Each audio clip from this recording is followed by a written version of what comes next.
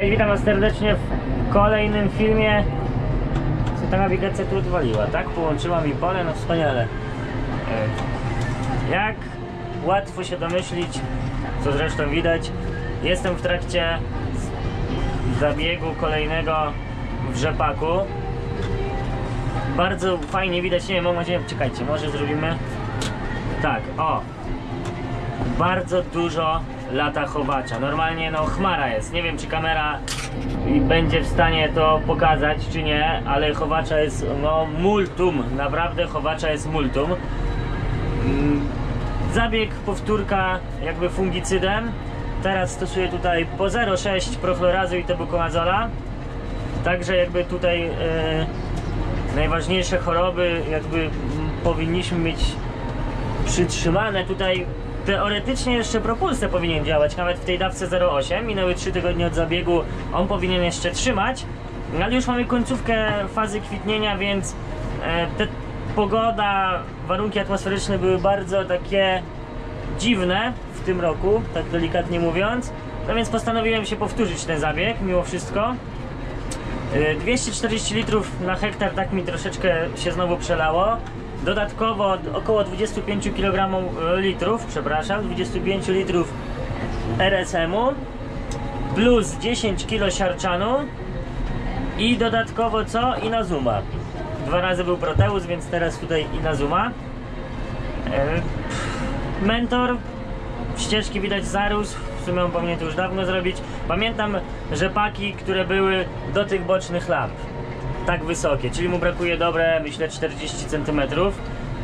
No jest jak jest, e, miejmy nadzieję, że jakby ten profil, jeżeli chodzi o, o łuszczyny, będzie też odpowiednio wysoki, bo to nie sztuka, żeby były badyle wysokie, a żeby właśnie ta miąższość samych łuszczyn była jak, naj, jak największa. E, Przed wjechaniem z zabiegiem, zresztą no dzisiaj e, pryskałem jeszcze jęczmieniary. Tę jedynkę robiłem z regulacją.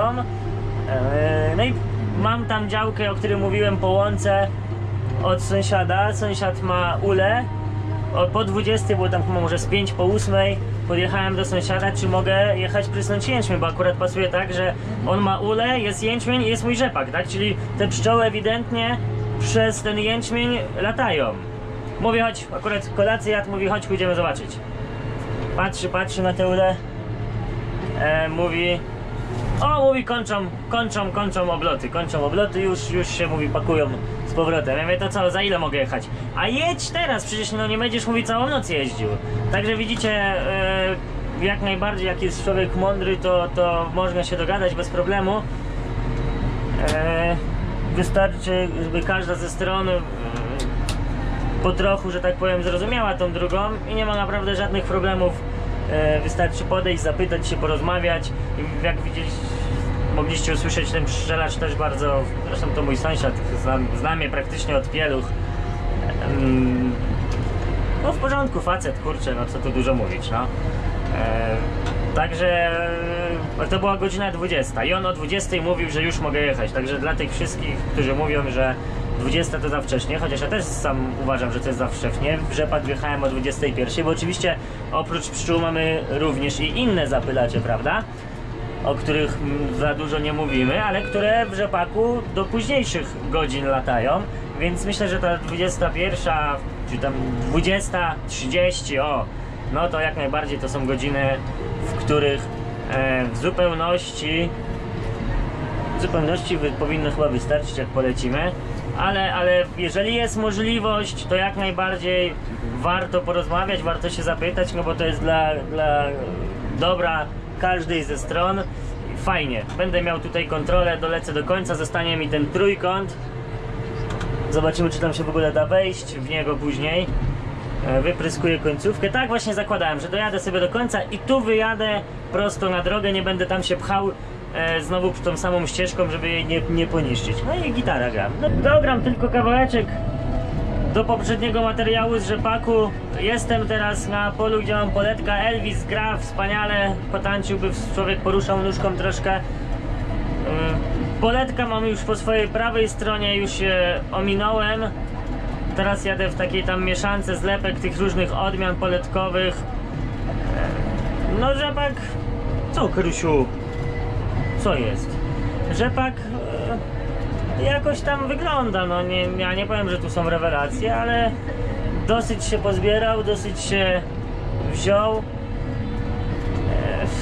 E, miejscami, miejscami jest, wygląda naprawdę normalnie, po lampy tutaj te boczne, taki jest wysoki, nawet tu widać takie, takie z lewej strony jest wyższy. No co, no tak kurczę, zobaczymy jak nam, nam pogoda da tutaj pozwoli. Tutaj również to bukonazol z prochlorazem, plus imazuma, plus em, RSM, tutaj 30 litrów. RSM-u ogólnie 200 litrów na hektar. Karusiu, nie szturchaj mnie nosem. Czubku ty. 200 litrów na hektar. Karuśnuj. Chciałem też X-Time'a pokazać, zobaczyłem, może, może jeszcze kawałeczek z X-Time'a nagram. Też X-Time, no miejscami X-Time wygląda pięknie, powiem uczciwie, tylko że to jest X-Time'a mam chyba na 4 czy 5 hektarach i takiego pięknego jest hektar, no. Taki w dołku, gdzie było mokro, no wygląda kapitalnie. Ale już na tych takich miejscach, powiedzmy takich jak tu, to wygląda gorzej, gorzej niż tutaj rzepak, no. Przede wszystkim, bo tak się zastanawiałem, kiedy zrobić ten zabieg tutaj, jeżeli chodzi o tą działkę. No i tak chciałem troszeczkę później wyjechać, żeby on jeszcze troszeczkę bardziej przekwitł, bo 7 robiłem zabieg, dzisiaj mamy, nie wiem, 23, czy, czy jakoś chyba tak 23, czy tam 24, więc chciałem się troszeczkę wstrzymać, ale że jest sporo i, i pryszczarka, i chowacza, czyli tych głównych szkodników łuszczynowych, no to zdecydowałem się już teraz wykonać zabieg. Teoretycznie tam Proteus może jeszcze będzie działał, może już nie. Mm, A jeżeli już chować zrobi nam dziurkę, w którą z jajka złoży pryszczarek, to nawet jeżeli my go wytrujemy z tej, czy tam się wytrujemy, no w sumie dobre słowo, trochę hardkorowe, z tej łuszczyny, to w 90% ta łuszczyna i tak się otworzy i nasiona się z niej wysypią, więc musimy zrobić zabieg przed zainfekowaniem, że tak się wyrażę, przez e, larwy e, czyli przed zanim najpierw chować zrobi dziurę, a jeżeli są już takie naprawdę bardzo słabe łuszczyny, to tak naprawdę gdzieś czytałem, że chyba w Czechach pryszczarek jest w stanie zrobić dziurę nawet, złożyć ciało nawet bez wcześniejszego uszkodzenia. Tutaj też zobaczcie, że tak no całkiem, całkiem nie głupi, no całkiem nie głupi. Co ciekawe, dystans kontrol ogarnia cały czas temat, czyli wychodzi na to, że ten T1 jest dosyć równy. No co jest bardzo ważne, bo jak wiecie, że najważniejsze to jest, żeby był właśnie one równy. Jeżeli one będzie równy, no to em, można myśleć już tam o jakimś plonie, prawda? To jest, to jest najważniejsze, żeby one był wyrównany. Nie ma znaczenia jaka to jest uprawa. Może być on słabszy, ale niech on jest równy.